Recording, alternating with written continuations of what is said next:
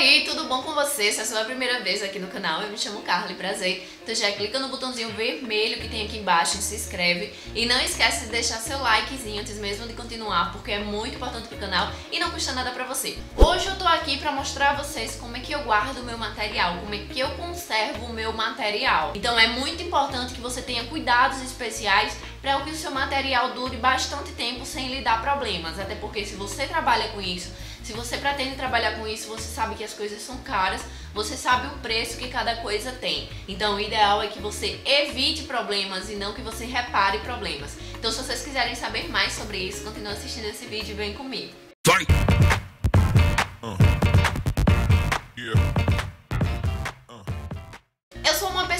Desleixada, sabe? Então as minhas coisas sempre ficam muito à toa.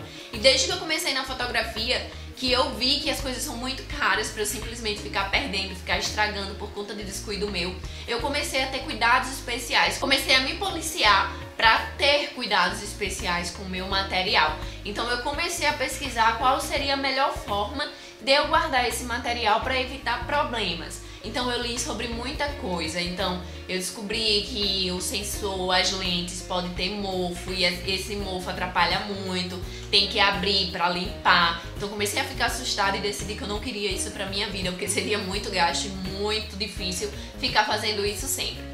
E aí eu descobri uma forma bem legal de guardar meu material e eu quero mostrar pra vocês. Eu guardo meu material dentro de uma vasilha grande de plástico. Ela tem uma tampa que venda super bem, então evita que entre poeira, inseto, umidade, essas coisas. E aí dentro dessa vasilha eu deixo a minha câmera sem lente nenhuma, tiro todas as lentes, é, uso a tampinha para cobrir o sensor, não pode deixar o sensor exposto, tá gente? Então toma cuidado com a exposição do sensor.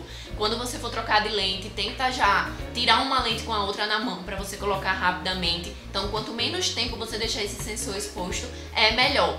E aí todas as lentes eu vario a forma de guardar. Na semana que eu fotografo muito, eu guardo elas fechadas porque elas já recebem muita luz durante o ensaio. Na semana que eu não tenho tantos ensaios assim, então eu deixo elas um tempo aberta dentro da vasilha para que ela possa receber luz. Porque diz senhor Google que quando a lente recebe luz é melhor, porque isso é uma, mais uma forma de evitar mofo.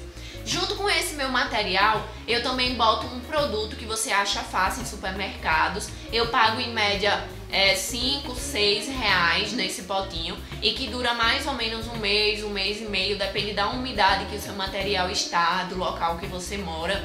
Então, ele evita mofo no seu material, ele evita que o seu material acumule umidade. Então, vocês vão reparar que ao longo das semanas, esse potinho ele vai ficar cheio de água. Então, toda aquela água que está ali é a umidade que ele, que ele sugou do seu material. Então, imagina toda essa água no seu material, é óbvio que vai causar mofo.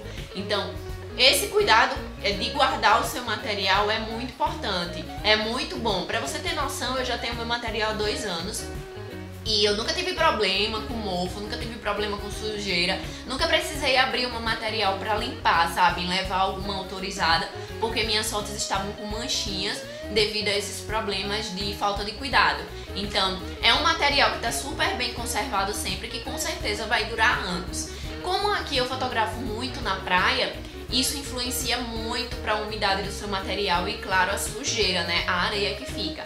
Então, sempre que eu chego de um ensaio da praia, eu uso um pincelzinho que eu tenho, um pincelzinho fininho e com sedas macias, e limpo, tiro todo o excesso de areia, tiro toda a areia que fica na lente, na câmera, e aí depois eu passo um pano de algodão bem molinho, bem levinho na lente, tanto na frente como no fundo, no vidrozinho. E aí depois disso, dessa limpeza, aí sim eu guardo o meu material dentro da vasilha com um potinho de umidade e lá eu vou deixar que esse produto haja na umidade que está na câmera devido à maresia, a, enfim, o ensaio na praia. E outro cuidado também, assim, mega especial pra mim, já que eu sou uma pessoa que costuma deixar as coisas à toa e perde muitas coisas porque guarda e não lembra onde colocou. Então, dentro dessa vasilha que eu mostrei a vocês, eu guardo todo o meu material, desde os cartões até o meu microfone de gravar aqui pro YouTube, as lentes, as tampinhas, guardo tudo lá, porque eu sei que sempre que eu procurar o meu material de trabalho, ele vai estar ali. Então não deixo nada lá, o caso. Às vezes eu deixo ali na mesa, porque eu sei que eu vou usar no dia seguinte, aí eu já deixo lá. Mas eu procuro sempre deixar dentro da vasilha para que eu não fique nunca procurando as coisas sem saber onde eu coloquei. Então tá sempre todo mundo junto no mesmo lugar. Então, gente, o nosso vídeo de hoje foi esse. Eu espero que vocês tenham gostado de ver como é que eu cuido do meu material. São cuidados simples, mas que fazem toda a diferença no, na duração do seu material, do quanto ele vai durar. Material de fotografia é feito para durar anos, mas isso depende muito da forma que você vai cuidar. Então, meu material é super bem cuidado. Eu espero que se você tá aí na sua casa, não cuida, deixa as coisas tudo à toa, deixa a máquina em qualquer lugar, recebendo umidade, em, em lugar com poeira, você comece a mudar a sua visão e ter mais cuidado com a bichinha, porque né, ela merece ser tratada bem. Se você é novo aqui no canal, não fica só nesse vídeo, vai assistir outros vídeos, tem vários outros vídeos aqui sobre fotografia, então não fica só nesse. E lembrando, deixa teu like, se inscreve e ó, cheirinho no cangote, que eu sei que vocês amam, e até o próximo vídeo.